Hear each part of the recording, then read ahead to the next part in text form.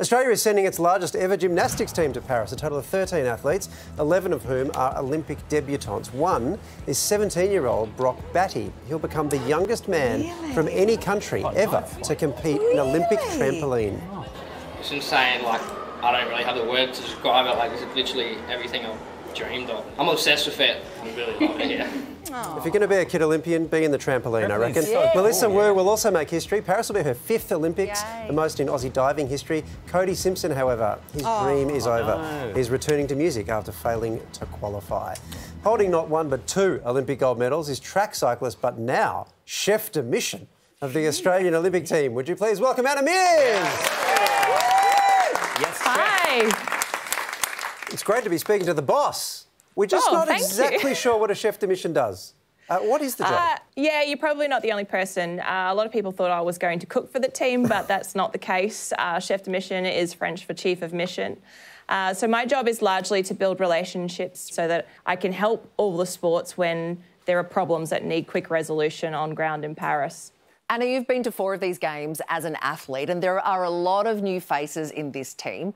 What will they find hardest about competing at an Olympics? Yeah, well, at the moment, we're at 199 athletes on the team, and more than 50% as it stands are debutantes. So we have a very large contingent of new Olympians, which is a great thing for Australia. But the thing that can be really overwhelming is the stage that you perform on. The, the track or the pool or the venues never really change in terms of the sport performance, but the noise around you is enormous. The amount of colour, the amount of cameras, the amount of intensity, the hype, the pressure, the expectation, it's a big distraction. So just finding some norm in a really abnormal environment for the debutantes, I think, will be really important.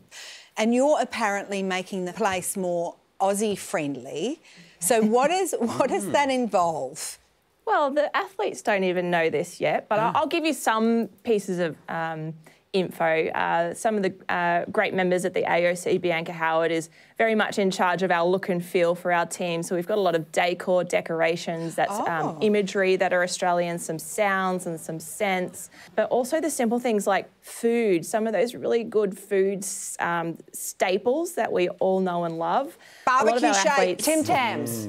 Chicken Crimpy Vegemite, shakes. Weet-Bix, you know, all those sorts of things. Um, we'll have that there for them. A lot of them will will have been overseas for weeks, if not months already, so that little taste of home can go a long way. Uh, now, you're the chef, but we've also heard that the Australian team will be bringing their own baristas to the games. Yes. Um, for a third time, we've done it before. Uh, is the coffee culture that bad? In France, it's like, do we need this?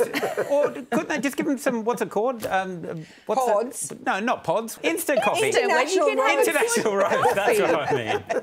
I tell you what, the two positions that I think we've had the most expressions of interest in is going to Tahiti to support the surfers and the role of barista. Um, so we're taking three baristas, uh, and this was born out of the Tokyo Olympics where COVID really. Um, had to create this circle the wagons benef- uh, element around the team. And taking a barista created the social hub that is normal. We have normal activities now going out for coffee or a cuppa a hot chocolate and that just created a nice social space for the athletes. And trust me Australia was the envy of every country as a result of that in Tokyo. So I wouldn't be surprised if we're not the only one with a barista in Paris. It's our secret weapon, hands off world. That'll be the next Olympic event. Yeah. if, they, if the Olympics ever go back to Melbourne, that will definitely happen.